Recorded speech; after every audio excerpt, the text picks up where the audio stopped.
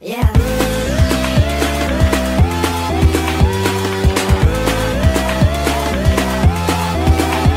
Wir haben schon ein, zwei Kriege geführt und haben schon drei, vier Zimmer demoliert. Aber bei fünf Minuten ohne dich zu viel sind, bin ich auch mit 90